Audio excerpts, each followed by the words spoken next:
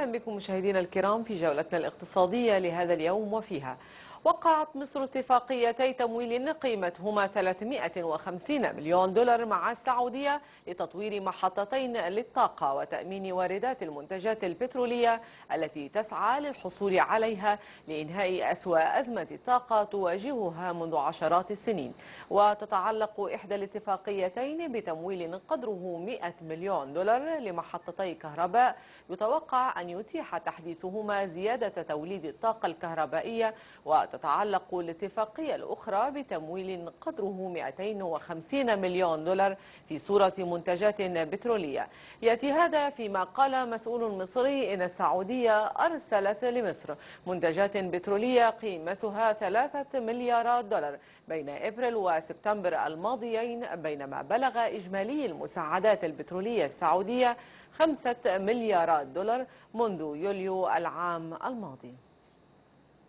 صرح وزير الداخلية الليبي أن المرافئ والحقول النفطية الليبية آمنة وتحت السيطرة سيطرة الحكومة الليبية. وكان مرفأ البريغا قد شهد احتجاجات مؤخرا بعدما اندلع الصراع للسيطرة على قطاع الطاقة الذي تديره الدولة الليبية. وأدت الاضطرابات في ليبيا إلى تراجع في صادراتها من المادة الخام لكنها تضخ حاليا 800 ألف برميل يوميا على الأقل.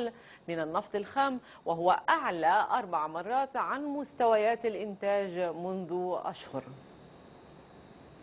أعلن بنك باركليز البريطاني أنه خصص مبلغ 500 مليون جنيه استرليني لتغطية أي نفقات قد تنتج عن التحقيقات الجارية في عدد من الدول على مستوى العالم بشأن اتهام بنوك بالتلاعب بأسعار العملات وكان باركليز من بين المصارف التي علقت التعامل مع تجار العملة بعد الاتهامات بالتلاعب بالسوق.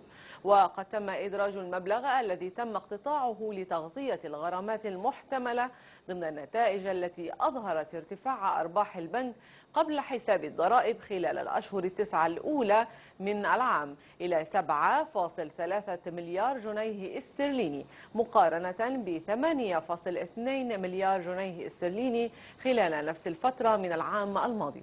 وأدت هذه النتائج أو هذه النتائج إلى ارتفاع سعر سهم البنك بنسبة 2% مؤخراً.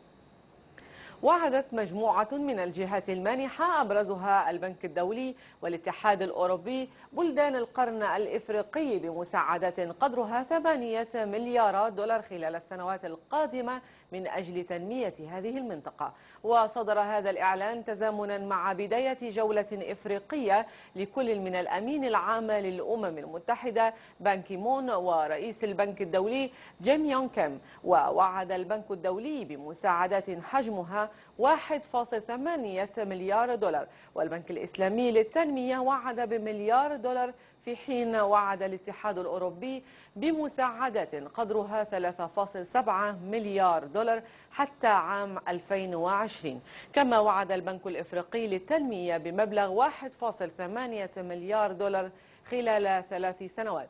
فيما ستوزع المساعدات على ثمان دول هي أثيوبيا والصومال وجيبوتي وكينيا وإريتريا وجنوب السودان والسودان وأوغندا. قال جان كوما رئيس التنفيذي لخدمة التراسل الفوري واتساب إن خطط إطلاق ميزة الاتصال الصوتي التي وعد بها في وقت سابق من العام الجاري قد تأجلت حتى مطلع العام المقبل 2015 وكان كوم وعد عقب استحواذ شركة فيسبوك على واتساب في شهر فبراير الماضي مستخدمي الخدمة بتقديم ميزة الاتصال الصوتي خلال الربع الثاني من هذا العام لمنافسة خدمات أخرى مثل سكايب وفايبر.